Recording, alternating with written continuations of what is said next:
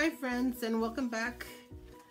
Um, today's pour is going to be just pure joy um, type of uh, pour. I am going to also um, try to correct a mistake that I did yesterday.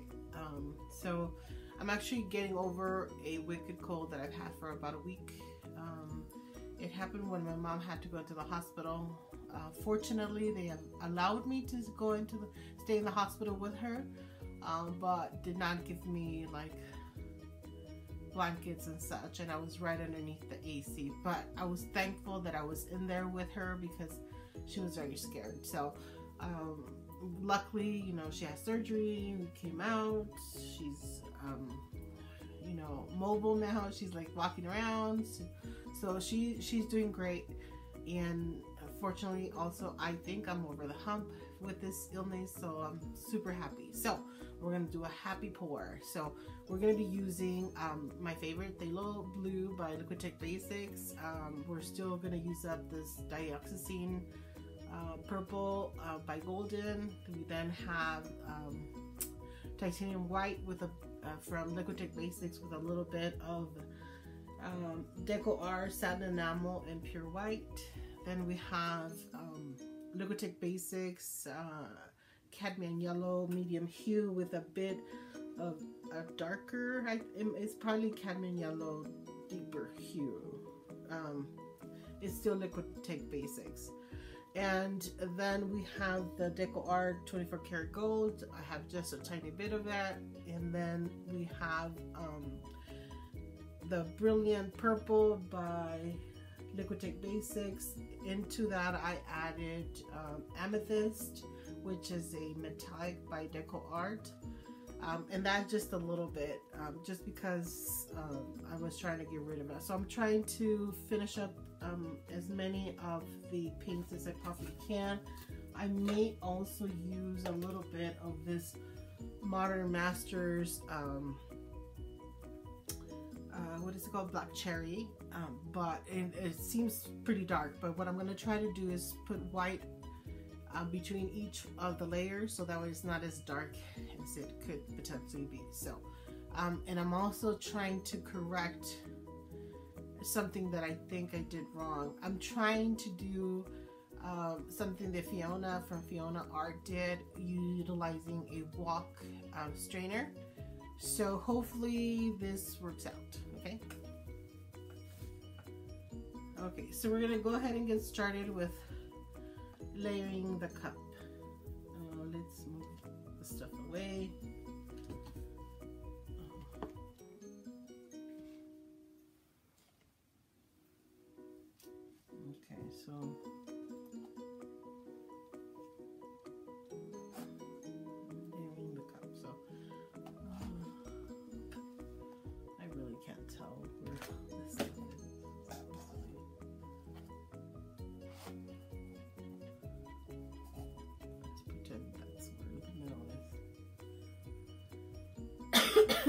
okay, so we're gonna layer the cup.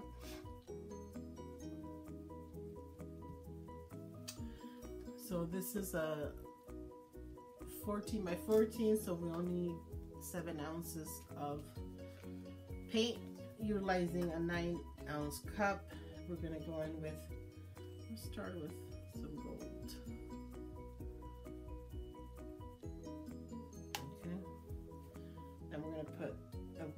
like I said, I'm gonna be putting white between all the colors just to make sure that everything goes well. So now we're gonna, this one is like super liquidy. I think I, so the purple is way too liquidy, so I'm gonna have to um, remix it with um, some of the original paint and we'll have to add a little bit more uh, pouring medium. So I'm gonna speed this up so you don't have to um, see me basically mix more paint. However, if you do want to see um, how I mix my paints as well as how I make the pouring mix, I do have a video called Making Pouring Mix, um, which is 9 point, no, 9A.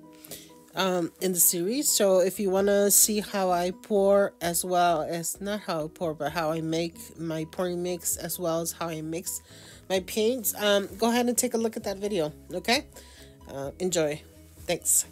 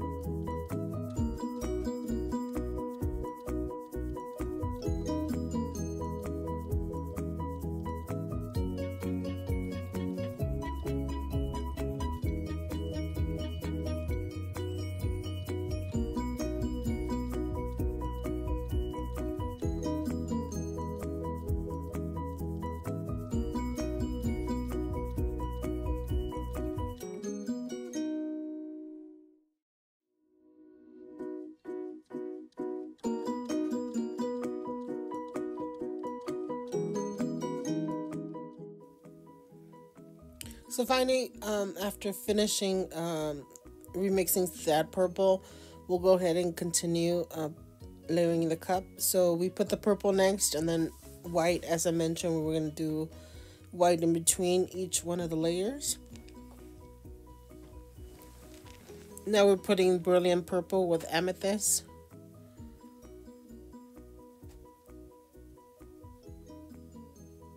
And then um, We'll go back in with a white. And this is titanium white by Liquitex Basics with um, a little bit of satin enamel and pure white.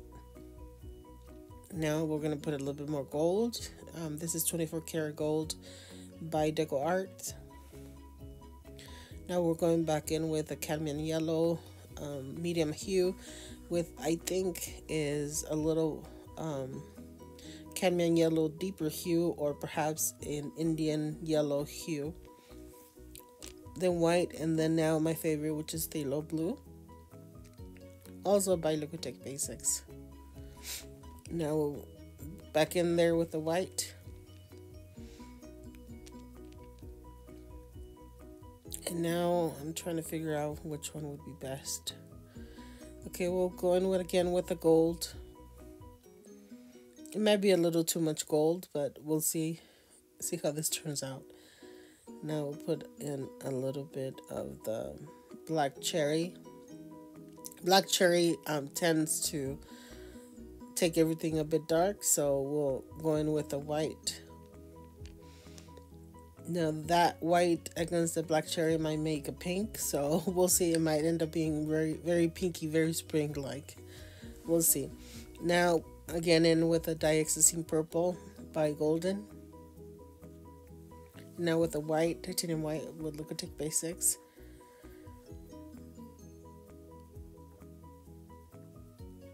And lastly, we're going to put in that um, cadmium yellow, medium hue with cadmium yellow, deeper hue. or.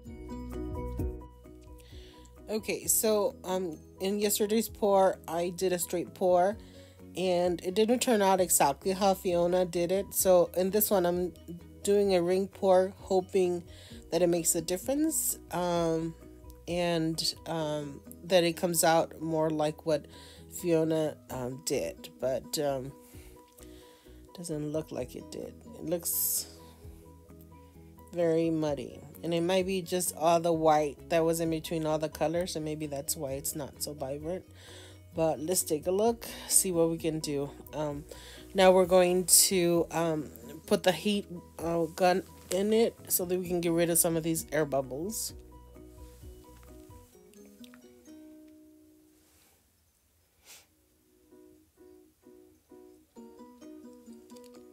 That helped a little bit so it brought up some of the um, beautiful cells that were underneath. So basically when the air bubbles are popped, then it allows for the paint that's underneath to come up. So it makes beautiful cells. Now let's get started and do the spinning.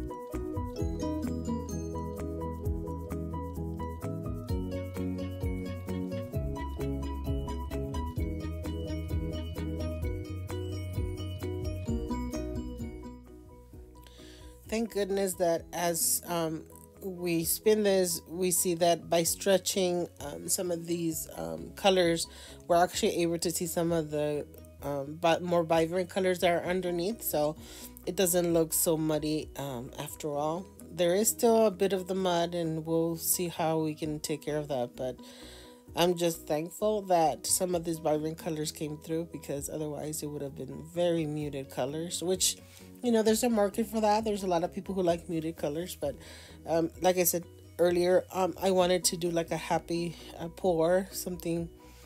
For me, when I say happy, for me is more vibrant colors. So yeah, so I'm excited about these colors coming through.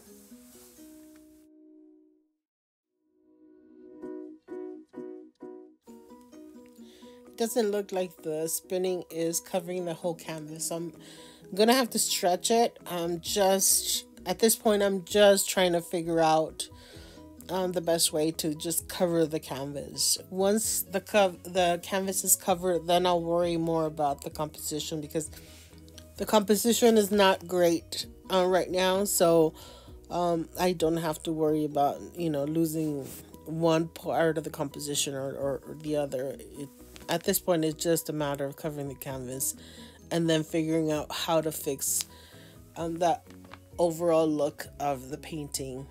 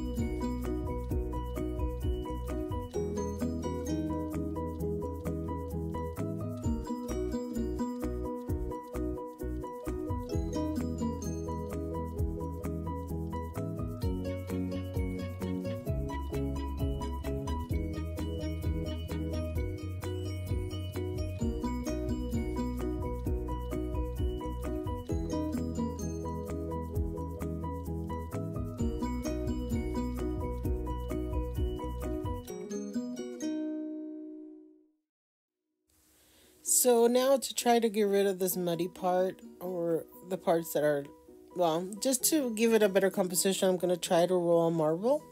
I've never uh, rolled a marble before, so um, we'll see how it goes.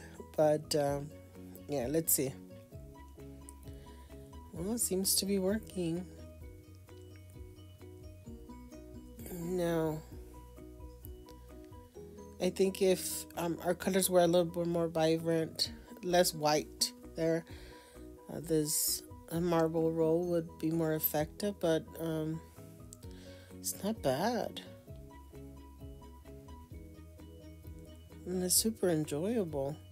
You know, it's just watching the marble go from one side to the other. Just. I think I'm gonna have to do another pour where the focus is the marble.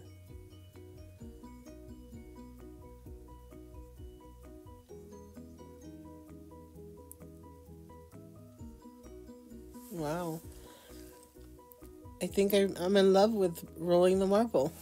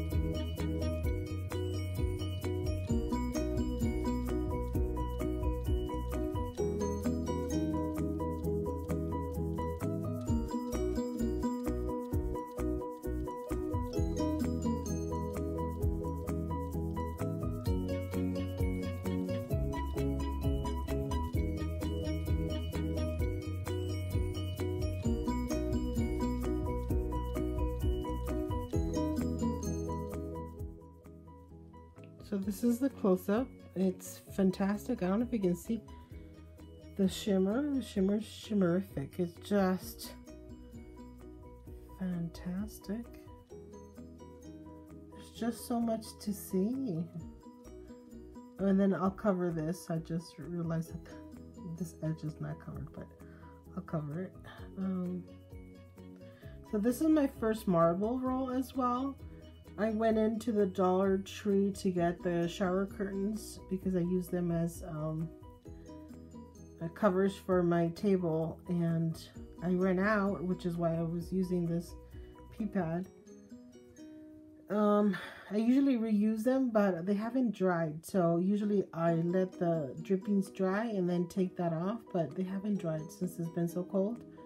So I have a bunch of them outside trying to dry out. But um, anyhow, I was passing by um, at the Dollar Tree and saw the marbles and I figured, hey, why not? Let me take them and sure enough, they worked. Look at this gradient. It is just fantastic. Wowzers, as Julie Q would say, wowzers. I hope you like it. I love it. So this is the dry piece. It's still a little muddy here in the lower uh, left corner. Um, I could have rolled the marble a little bit more there, uh, but um, up here, it's just like a super groovy design. It's super nice. I love it. Um, definitely more of a spring, maybe like Easter type of painting. So if I were to try to sell it, I'd probably try to sell it during that time because those are more the colors that would probably sell around that time. But um, I wouldn't, yeah, I'm not selling my stuff. I mean, if, you know, if someone likes it, then I'll take a look. I mean, I'll consider it, but um, at this point, I'm just doing this as art therapy. Um, and yeah, it's super nice. I love it. My favorite, this is my favorite part. It's like right here. Probably taking a picture of this part and, and like making prints. That would be nice. All right. Well, thank you for joining me in this art experience. I'll welcome you back next time. Thank you.